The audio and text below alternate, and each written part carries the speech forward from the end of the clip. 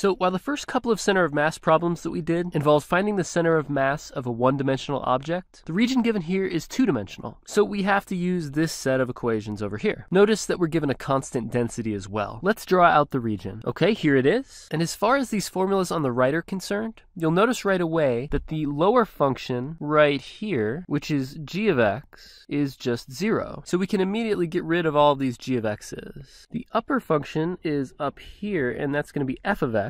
If you want a bit of a review of equations of lines, you can go to some of my previous videos. But in short, you'll notice that this line has a slope of negative b over a, and it has a y-intercept of 0b. So its equation looks like that. One more thing to notice before we start doing these integrals is that this mass and these two moments have this constant density as a factor. And when we're finding the x and y coordinates of our center of mass, we're dividing one of the moments by that mass. So you can see that when we do that division problem, all of these densities are just going to cancel out. So we may as well forget about them now. In other words, what we can do is we can assume that that density is 1, and that won't impact the problem. Okay, let's do our mass integral first. We're going to integrate f of x between the x values of 0 and a. We're integrating with respect to x, so what we're going to get is this right here, and we can plug in our upper and lower limits on x. We're just going to get two non-zero terms. You'll notice in this first term, we have an a squared in the numerator and an a in the denominator. That's going to leave us with the negative a times b over 2, and the second term is just a times b. Combining those fractions just gives us 1 half ab as our mass, so we can box that up for a second.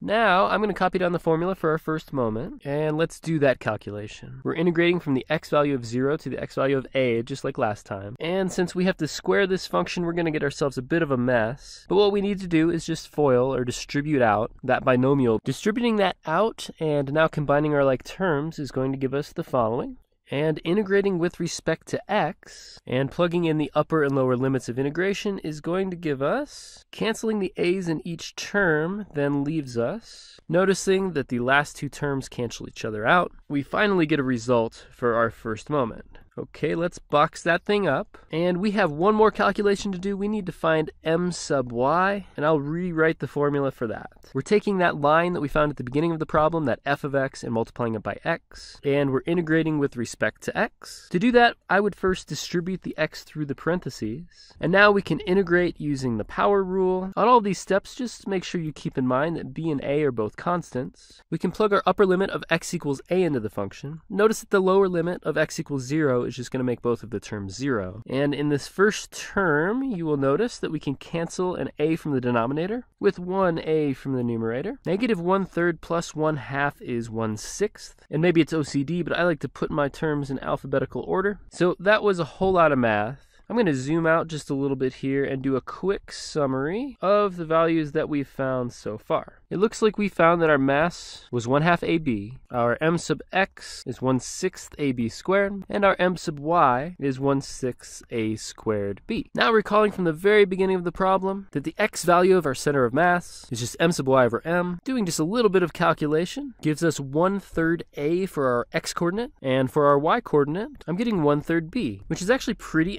interesting. It's going to be the final answer. I don't know if I could zoom out on this whole thing, but maybe what I'll do is just go to the top of the problem, scroll down slowly, and you can hit pause on your browser wherever you need to to take another look at the math.